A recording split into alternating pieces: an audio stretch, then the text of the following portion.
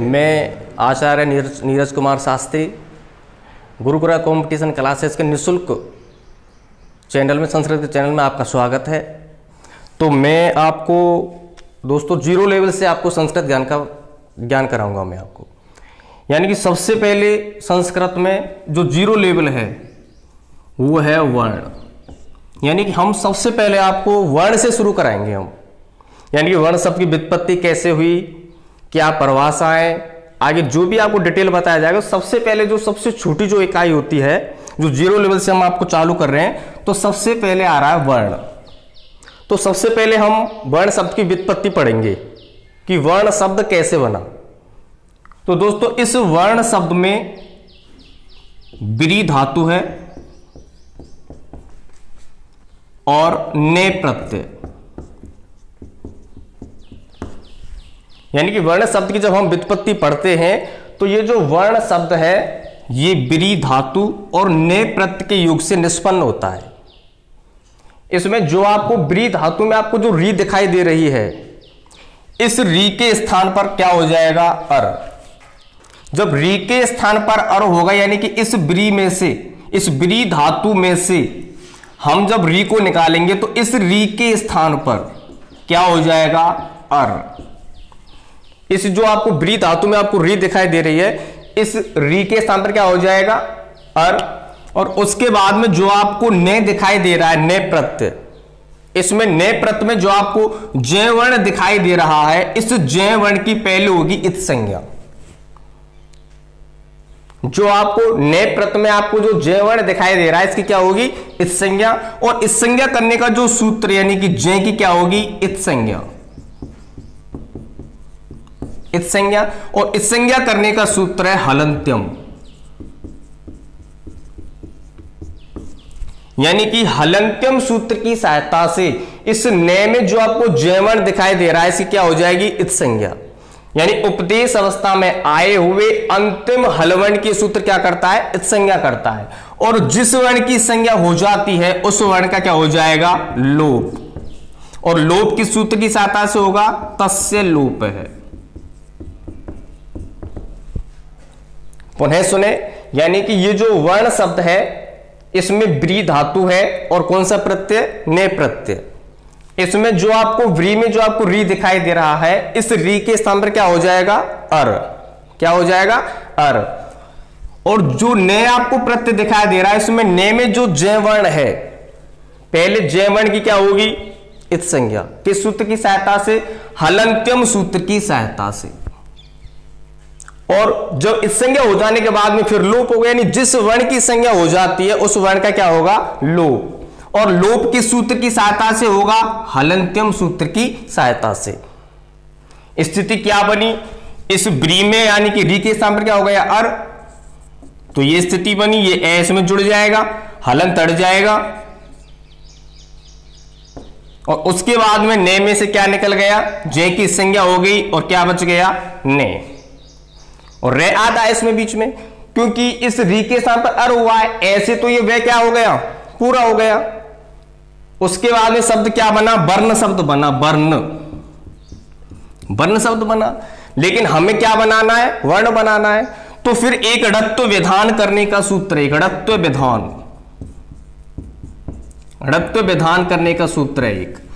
रसाभ्याम नोड़ समान पदे।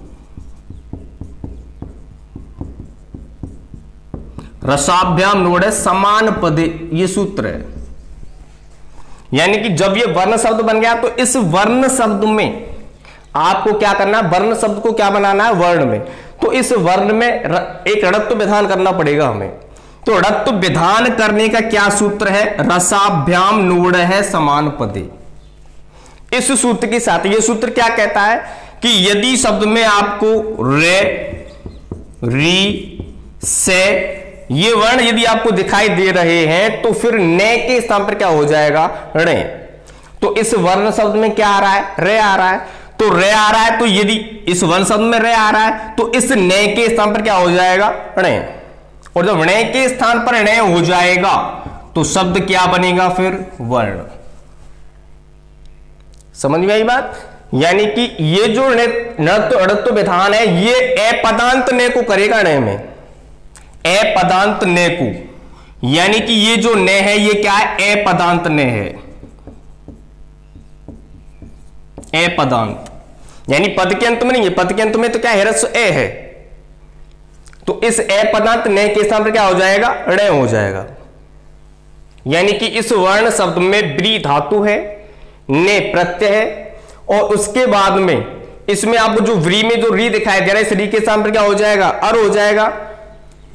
उसके बाद में ये जो आपको जय वर्ण दिखाई दे रहा है, इसकी क्या हो जाएगी? संज्ञा किस सूत्र की सहायता से, हलंत्यम से, और फिर तस्लुप्स क्या हो जाएगा? लोप। लोप हो जाने के बाद में शब्द क्या बनेगा? वर्ण। यानी वर्ण बनाए, लेकिन हमने अड़त्व विधान किया। अड़त्व विधान की सहायता से शब्द क्या बन गया? वर्ण। और इस वर्ण शब्द का अर्थ होता है, रंग या वर्ण करने वाला। यानी कि सीधी सी बात है कि वर्ण शब्द की वित्पत्ति ब्री प्लस ने प्रत्य के युग से निष्पन्न होती है। और इस वर्ण शब्द का अर्थ क्या होता है? रंग या वर्ण करने वाला। ये तो हमने बात करी कि वर्ण शब्द कैसे बनता है। वर्ण शब्द कैसे बनता है? और वर्ण शब्द का अर्थ भी बताया था कि वर्ण शब्द का अर्थ क्या होता है? रंग या वर्ण करने वाला। आगे परिभाषा की तरफ़ बढ़ते हैं हम।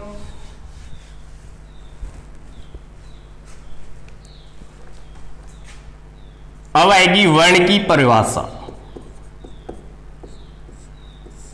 देखो, वर्ण शब्द की आपने परिभाषा शुरू से ही आप पढ़ते आए हैं, लेकिन वो तो छोटी क्लासों में आपने पढ़ा है कि भाषा की वह छोटी से छोटी का जिसके टुकड़े ना किए जा सके, उसे हम क्या कहते हैं? वर्ण कहते हैं। ये तो है बिल्कुल छोटी स्तर की बात। लेकिन हम आपको बताएँ कि वर्ण की परिभाषा की सबसे पहले वर्ण की परिभाषा है शब्दकोश के अनुसार। शब्दकोश के अनुसार। यानी वर्ण शब्द की परिभाषा शब्दकोश में क्या दी गई है? तो शब्दकोश के अनुसार वर्ण की परिभाषा होती है रंग कर्माणी वर्णानी।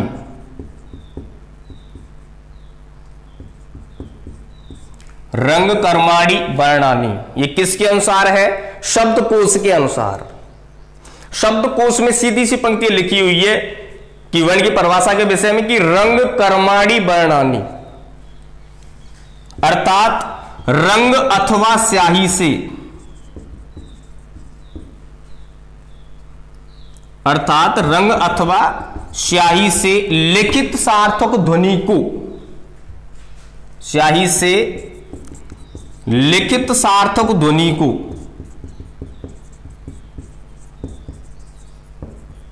ध्वनि को क्या कहते हैं? वर्ण कहते हैं। क्या कहते हैं? वर्ण। ये किसमें लिखी हुई है परिभाषा शब्दकोश में। यानी शब्दकोश के अनुसार परवासा है रंग कर्माणी वर्णानी। रंग अथवा स्याही से। रंग अथवा स्याही से लिखित सार्थक ध्वनि को हम क्या कहते हैं? वर्ण कहते हैं। दूसरी परवासा है यास्क। यास्क के अनुसार। यास्क के अनुसार। जिसके ग्रंथ का नाम है निरुक्त। यास्क के अनुसार परिभाषा है, ब्रियते इति वर्ण है। ब्रियते इति वर्ण है। ये यास्क ने दी है परिभाषा। ब्रियते इति वर्ण है। वह सार्थक ध्वनि। जो एक निश्चित स्वरूप एवं बनावट का चयन करती है। वह सार्थक ध्वनि, जो एक निश्चित स्वरूप एवं बनावट का ब्रियते का मतलब क्या होता है? चयन करती है। वह सार्थक ध्वनि, जो एक निश्चित स्वरूप एवं बनावट का चयन करती है। उससे हम क्या कहते हैं? वर्ण कहते हैं। ये किसने कहा है? यास्क ने। पहली परिभाषा किसने दी है? शब्दकोश के अनुसार है। रंग, कर्माणी, वर्णानी। रंग अथवा स्याही से लिखित सार्थक ध्वनि को हम क्या कहते हैं? वर्ण कहते हैं। उसके बाद में यास्क ने, यानी यास्क के अनुसार भी परिभाषा है, ब्रियते इति वर्ण है। ब्रियते शब्द का क्या होता है? चयन करना। तो वह सार्थक ध्वनि जो एक निश्चित स्वरूप एवं बनावट का क्या करती है? चयन करती है, उसे हम क्या कहते हैं? वर्ण कहते हैं। ये यास्क के अनुसार है। उसके बाद में पिंगल मुनि या पिंगल महोदय। पिंगल महोदय के अनुसार, यानी कि जो कि छंद शास्त्र के प्रणीता है पिंगल महोदय, उन्होंने भी वर्ण की परिभाषा दी है। और उन्होंने वर्ण की क्या परिभाषा दी है? कि स्वराणी, स्वर युक्त व्यंजनानी।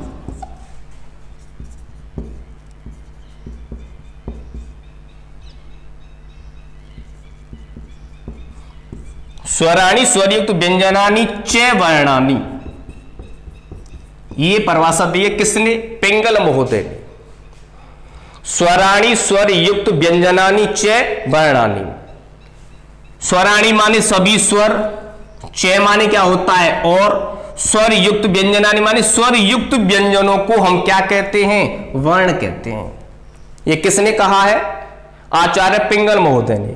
कि स्वराणी स्वर युक्त व्यंजनानी च वर्णानी। स्वर, यानी सभी स्वर च मान होता है और स्वर युक्त व्यंजनानी माने स्वर युक्त व्यंजनों को क्या कहते हैं? वर्ण कहते हैं। ये किसने कहा है? पिंगल महोदय ने। तो उसके बाद में ये तो है वर्ण की परिभाषा ये तो है सभी वर्ण की परिभाषा एक अक्षर की परिभाषा भी दी है किसने? यास्क ने। अक्षर की परिभाषा। ना छरती, छियते वायती अक्षर है।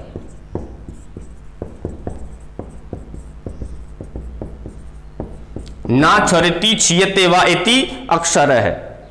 ये यास, ये किसके अनुसार है? यास्क के अनुसार है, लेकिन किसकी परिभाषा है? अक्षर की। यानी कि यास्क ने अक्षर की क्या परिभाषा दी है? ना छरती, छियते वा अक्षर है। वह मूल ध्वनि जिसका क्षरण, खंडन एवं विभाजन नहीं होता है। वह मूल ध्वनि जिसका क्षरण, खंडन एवं विभाजन नहीं होता है। क्षरण, खंडन एवं विभाजन नहीं होता है। उसे हम क्या कहते हैं? अक्षर कहते हैं। क्या कहते हैं? अक्षर। यदि आपसे कोई पूछ ले कि भाषा की सबसे छोटी मौखिक इकाई, क्योंकि मैं आपको यह अंतर बता रहा हूँ, अक्षर क्या है? वर्ण क्या है? आपसे पूछ ले कि भाषा की सबसे छोटी, भाषा की सबसे छोटी,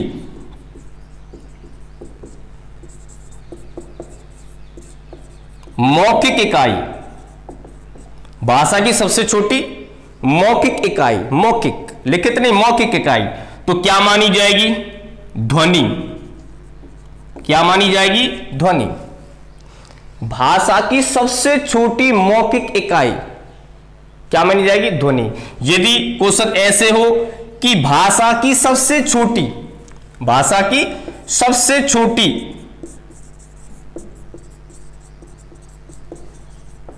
लिखित इकाई तो क्या आएगी? वर्ण। लिखित इकाई तो क्या आएगी? वर्ण। और सीधे से ये पूछ ले कि भाषा की सबसे छोटी इकाई ना लिखित है, ना मौखिक है तो फिर क्या आएगी? वर्ण आएगी। पुनः सुने आप, भाषा की सबसे छोटी मौखिक इकाई मौखिक इकाई तो क्या मानी जाएगी? ध्वनि। क्योंकि सबसे पहले ध्वनि निकलेगी। यदि आपसे पूछ लिया जाए कि भाषा की सबसे छोटी लिखित इकाई तो क्या मानी जाएगी? वर्ण। लेकिन ना तो लिखित पूछे, ना मौखिक पूछे डायरेक्ट ये पूछ ले कि भाषा की सबसे छोटी इकाई कौन सी है? तो फिर कौन सी मानी जाएगी? वर्ण ही मानी जाएगी। कौन सी मानी जाएगी? वर्ण। एक ये पूछ ले कि भाषा की सबसे छोटी, यानी अर्थ के आधार पर, अर्थ के आधार पर, चारों चीज़ों को पुनः बता रहा हूँ मैं, मिटा के, ये तो हमने बात करी अभी परिभाषा की, वर्ण की परिभाषा, अक्षर की परिभाषा। लेकिन मैं आगे आपको एक महत्वपूर्ण बात बताना चाहूँगा कि आपसे यदि कोई पूछ ले, उन्हें बता रहा हूँ कि भाषा की सबसे छोटी मौखिक इकाई क्या मानी जाएगी? ध्वनि। भाषा की सबसे छोटी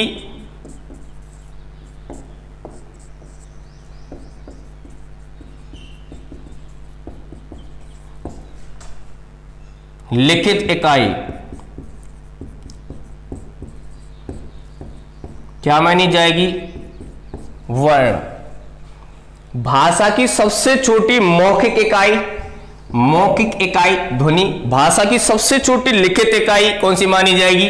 वर्ण। यदि आज से पूछ लिया जाए कि भाषा की सबसे छोटी इकाई, तीसरा स्टेप है कि भाषा की। सबसे छोटी इकाई।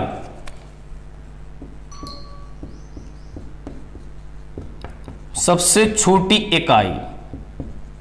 ना लिखित पूछे, ना मौखिक पूछे तो फिर क्या मानी जाएगी? वर्ण नंबर चार, यदि आपसे पूछ लिया जाए कि अर्थ के आधार पर अर्थ के आधार पर भाषा की सबसे छोटी इकाई, सबसे छोटी इकाई। तो क्या माना जाएगा? शब्द। क्या माना जाएगा? शब्द। अर्थ के आधार पर, क्योंकि जो अर्थ होता है, वो शब्द का ही होता है। अर्थ के आधार पर भाषा की सबसे छोटी इकाई क्या मानी जाएगी? शब्द। और यदि आपसे पूछ लिया जाए कि भाव के आधार पर, भाव के आधार पर, भाषा की सबसे छोटी इकाई भाव के आधार पर पूछ लिया जाए तो फिर क्या आएगा? वाक्य। क्योंकि भाव जो होता है, भावार्थ जो होता है, वो वाक्य का ही होता है। सबसे छोटी मौखिक इकाई, ध्वनि, सबसे छोटी लिखित इकाई, वर्ण। भाषा की सबसे छोटी, ना लिखित है, ना मौखिक है तो फिर क्या बताओगे आप? वर्ण। अर्थ के आधार पर सबसे छोटी इकाई, भाषा की सबसे छोटी इकाई, शब्द। और भाव के आधार पर सबसे छोटी इकाई क्या माना जाएगा? वाक्य। ये तो हमने की वर्ण की बात और अक्षर की बात। और अब आगे चलेंगे, वर्ण के प्रकार। वर्ण कितने प्रकार के होते हैं? एक चीज़ और बताऊँगा आपको मैं, प्रकार से पहले, कि ये जो वर्ण और अक्षर है, वर्ण और अक्षर जो अभी मैंने आपसे बात की थी, सबसे पहले मैंने वर्ण शब्द की व्युत्पत्ति बताई थी, कि वर्ण शब्द कैसे बना। उसके बाद में वर्ण की परिभाषा भी बताई थी, अक्षर की भी परिभाषा बताई थी। और उसके बाद भी एक चीज़ मैं बताना चाहूँगा कि वर्ण और अक्षर जो मुनि त्रयी है मुनि त्रयी मुनि त्रयी आप जानते होंगे मुनि त्रय में कौन कौन से आते हैं? एक तो आता है पाणनी, कात्यायन और पतंजलि। पाणी कात्यायन, पतंजलि। इन तीनों को क्या कहते हैं? मुनित्रेय। तो इन तीनों के अनुसार यानी पाणी, कात्यायन, पतंजलि। इन तीनों के बारे में जो वर्ण विचार हो जाएगा, इनके परिचय को मैं डिटेल से आपको बताऊँगा। लेकिन फ़िलहाल इस समय आपको बस इतना देखना है कि मुनि त्रय में कौन कौन से आते हैं। तीन मुनि आए, पाणी है, कात्यायन है और पतंजलि है। तो इन मुनि त्रय के अनुसार वर्ण और अक्षर को, यानी इस मुनि त्रय के अनुसार वर्ण और अक्षर। इन दोनों को क्या माना जाता है? पर्याय। यानी इन तीनों ने, इन मुनित्र यानी इन तीनों ने वर्ण और अक्षर को क्या माना? पर्याय माना कि वर्ण और अक्षर एक ही बात है। चाहे वर्ण कह लो, अक्षर कह लो, एक ही बात है। दोनों एक दूसरे के पर्याय हैं। ये तो मुनित्र ने माना है। लेकिन एक और व्याकरणाचार्य हुआ, मधुसूदन ओझा।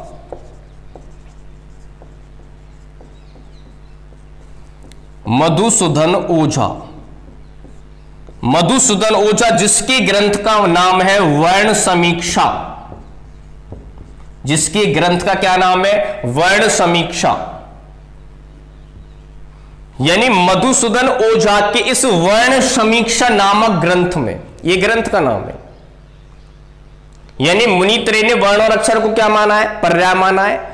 लेकिन मधुसूदन ओझा ने वर्ण समीक्षा नामक ग्रंथ में इस वर्ण और अक्षर को, इस वर्ण और अक्षर को क्या माना है? पृथक पृथक माना है अलग अलग माना है भिन्न भिन्न माना है। यानी कि मधुसूदन ओझा ने अपने वर्ण समीक्षा नामक ग्रंथ में यह बताया है कि जो वर्ण और अक्षर, ये दोनों क्या हैं? अलग अलग हैं। लेकिन मुनित्रे ने क्या माना है? पर्याय माना है। तो दोनों में मैंने आपको यह चीज़ आप ध्यान रखना कि आपसे पूछ लिया जाए कि वर्ण और अक्षर पर्याय, यानी वर्ण कह लो चाहे अक्षर कह लो, एक ही बात है। एक बात है, लेकिन मुनि त्रय के अनुसार, यानी मुनि त्रय में जो तीनों ये जो ऋषि है या पाणी है कात्यन है, पतंजलि है, व्याकरणाचार्य, इन तीनों ने तो वर्ण और अक्षर को पर्याय माना है। लेकिन मधुसूदन ओझा ने अपने वर्ण समीक्षा नामक ग्रंथ में यह वर्ण समीक्षा मधुसूदन ओझा का ग्रंथ है। तो मधुसूदन ओझा ने वर्ण समीक्षा नामक ग्रंथ में वर्ण और अक्षर को क्या माना है? पृथक पृथक माना है, अलग अलग माना है। कि वर्ण और अक्षर क्या है? अलग अलग है। आगे, देखो, ये तो वर्ण और अक्षर की परिभाषा की बात हुई, और किसने क्या बताया? ये बात हुई। लेकिन आगे अब बात होती है कि वर्ण कितने प्रकार के होते हैं। वर्ण के प्रकार। वर्ण कितने प्रकार के होते हैं? दो प्रकार के। कितने प्रकार के होते हैं? दो प्रकार के। नंबर एक, अचवर्ण। जिसे हिंदी भाषा में कहते हैं स्वरवर्ण नंबर दो, हलवर्ण, जिसे हिंदी भाषा में कहते हैं व्यंजन वर्ण। वर्ण के दो प्रकार हो गए। एक तो है अचवर्ण और एक है हलवर्ण। सबसे पहले आएगा अचवर्ण, यानी स्वर वर्ण किसे कहते हैं? सबसे पहले आएगा अचवर्ण और इस अचवर्ण की क्या आएगी? परिभाषा। कि अचवर्ण किसे कहते हैं? वे वर्ण जो स्वयं प्रकाशित होते हैं। वे वर्ण जो स्वयं प्रकाशित होते हैं।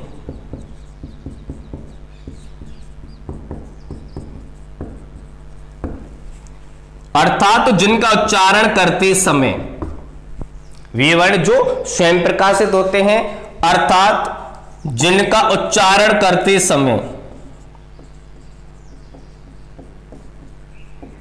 उच्चारण करते समय। अन्य किसी वर्ण की सहायता ना ली जाए।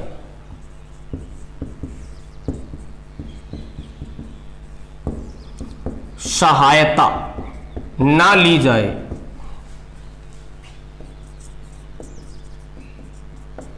उन्हें अचवर्ण कहते हैं।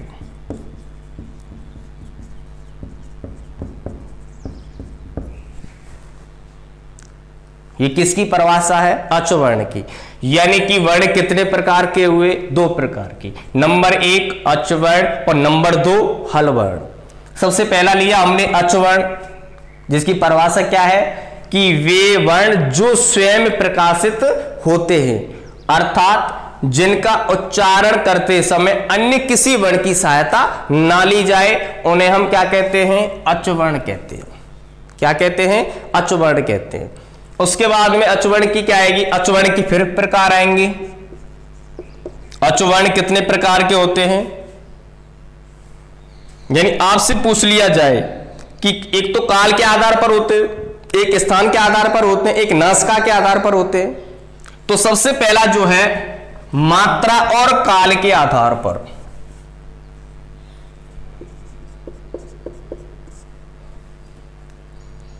मात्रा या काल के आधार पर।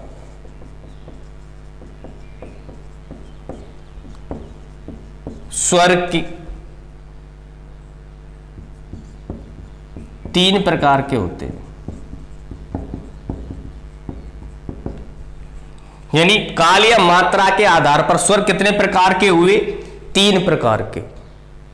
नंबर एक हिरस्व स्वर।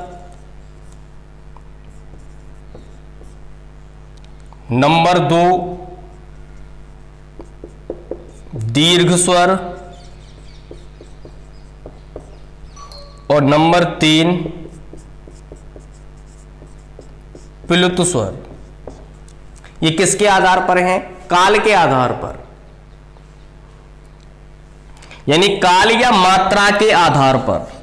स्वर के कितने प्रकार हुए? तीन प्रकार। नंबर एक हिरस स्वर। नंबर दो, दीर्घ स्वर। और नंबर तीन, पिलुत स्वर। सबसे पहले आएगा दीर्घ स्वर। यानी यानी कि सबसे पहला आएगा हिरस स्वर। यानी हिरस स्वर किसे कहते हैं? सबसे पहला हिरस स्वर हिरस स्वर की परिभाषा है कि बेस्वर वर्ण। बेस्वर वर्ण, जिनका उच्चारण करते समय बहुत कम समय लगे। बेस्वर वर्ण, जिनका उच्चारण करते समय बहुत कम समय लगे, उसे हम क्या कहते हैं? हिरस स्वर कहते हैं। जैसे, ए, ई, उ, री और लिरी।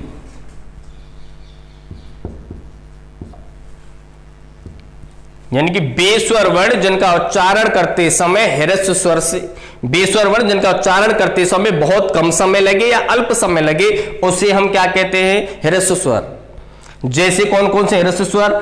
ए ई उ, री लिरी इन पाँचों को, यानी हिरस्व स्वर की संख्या कितनी होती है? पाँच। इन पाँचों को हम मूल स्वर भी कहते हैं। क्या कहते हैं? मूल स्वर भी कहते हैं। दूसरा है दीर्घ स्वर। दीर्घ स्वर की परिभाषा है कि बेस्वर वर्ण जिनका उच्चारण करते समय, बेस्वर वर्ण जिनका उच्चारण करते समय, हिरस्व स्वर से, बेस्वर वर्ण जिनका उच्चारण करते समय, हिरस्व स्वर से दुगना समय लगे। कितना समय लगे? दुगना समय लगे। उन्हें हम क्या कहते हैं? दीर्घ स्वर। बेस्वर वर्ण जिनका उच्चारण करते समय हिरस्व स्वर से दुगना समय लगे। कितना समय लगे? दुगना समय लगे। उसे हम क्या कहते हैं? दीर्घ स्वर कहते हैं। जैसे आ, ई, उ, री, ए आई ओ, औ। संख्या कितनी हुई? आठ। बेस्वर वर्ण जिनका उच्चारण करते समय हृस्व स्वर से दुगना समय लगे, उसे हम क्या कहते हैं? दीर्घ स्वर कहते हैं। और दीर्घ स्वरों की संख्या कितनी होती है? आठ। कितनी होती है? आठ। आगे है तीसरा, पिलुत स्वर। बेस्वर वर्ण जिनका उच्चारण करते समय बेस्वर वर्ण जिनका उच्चारण करते समय हृस्व स्वर से कितना समय लगे? तीन गुना समय लगे तिगुना समय लगे। बेस्वर वर्ण जिनका उच्चारण करते समय हृष स्वर से तिगना समय लगे, उसे हम क्या कहते हैं? पिलुस्वर कहते हैं। और पिलुस्वर कौन कौन से होते हैं? देखिए, ये जो तीन का निशान है, आपको मैं बताऊँगा।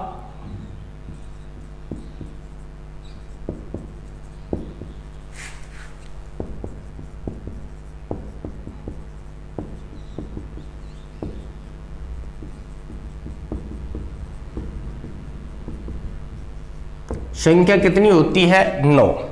यानी प्लस स्वरों की संख्या कितनी होती है? नौ। बेस्वर वर्ण जिनका उच्चारण करते समय हृस्व स्वर से तीन गुना समय लगे, उसे हम क्या कहते हैं? पिलस्वर कहते हैं। और पिलस स्वरों की संख्या कितनी होती है? नौ। पंखा चला दिए।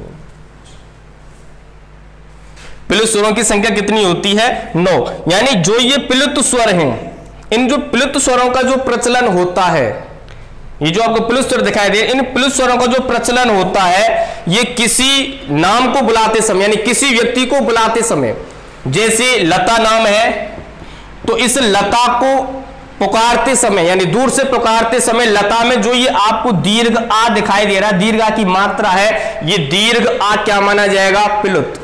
क्या माना जाएगा? पिलुत। इन प्लुत स्वरों का जो प्रचलन होता है, ये वैदिक संस्कृत में होता है, लौकिक संस्कृत में नहीं। पुनः सुने आप, यानी वर्ण कितने प्रकार के माने गए? दो प्रकार के। नंबर एक, अचवर्ण, और नंबर दो, हलवर्ण। पहला मैंने बताया था आपको अचवर्ण, यानी स्वर वर्ण जिसकी परिभाषा क्या है? कि वे वर्ण जो स्वयं प्रकाशित होते हैं। वे वर्ण जो स्वयं प्रकाशित होते हैं, अर्थात जिनका उच्चारण करते समय अन्य किसी वर्ण की सहायता ना ली जाए। उसे हम क्या कहते हैं? स्वरवर्ण कहते हैं। और स्वरवर्ण के उसके बाद मैंने प्रकार बताए थे, लेकिन किसके आधार पर? मात्रा या काल के आधार पर।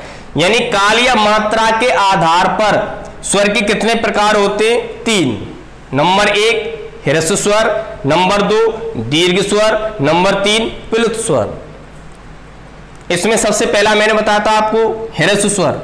बेस्वर वर्ण जिनका उच्चारण करते समय बहुत कम समय लगे या अल्प समय लगे, उसे हम क्या कहते हैं? हिरस स्वर। कौन कौन से होते हैं? हिरस स्वर जैसे ए है, ई है, ऊ है, री है, लिरी है। इन पाँचों वर्णों को हम क्या कहते हैं? हिरस स्वर। जिनकी संख्या कितनी होती है? पाँच।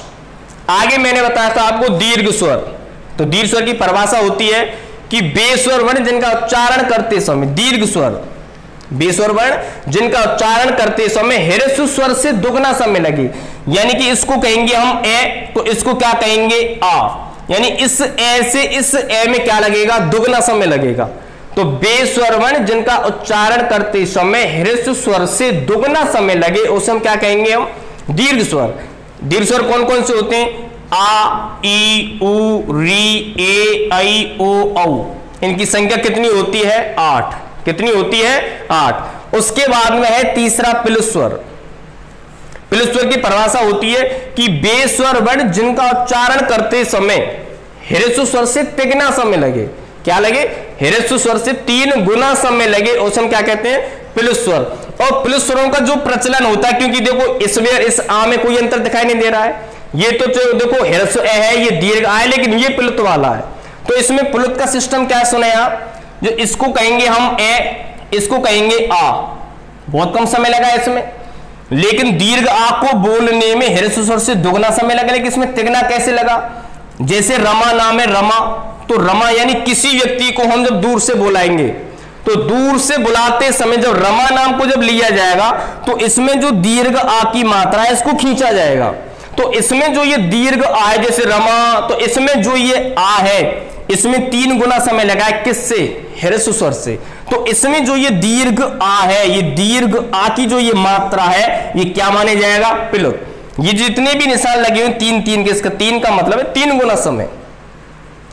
इनका जो पुलिस स्वर है, इनका जो प्रचलन होता है, वो किसमें होता है? वैदिक संस्कृत में। लेकिन सामान्य संस्कृत में इनका कोई प्रचलन नहीं होता है। यदि आपसे पूछ लिया जाए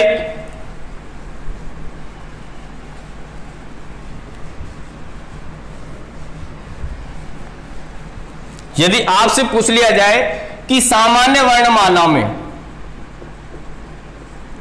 सामान्य वर्णमाला में, यस, लौकिक संस्कृत, सामान्य वर्णमाला में या फिर लौकिक संस्कृत में? लौकिक संस्कृत में। स्वर कितने होते हैं? तो तेरह। कितने होंगे? तेरह। पाँच ह्रस्वर आठ क्या है? दीर्घ। कितने हो गए? तेरह। लेकिन यदि आपसे पूछ लिया जाए कि वैदिक संस्कृत में, वैदिक संस्कृत में स्वरों की संख्या कितनी मानी जाएगी तो कितनी हो गई फिर? 22 यानी कि 9 में कितने जुड़ जाएँगे? यानी कि 13 में कितने जुड़ जाएँगे? पिलुत और जुड़ जाएँगे। यानी कि 12 तो कितने हो गए?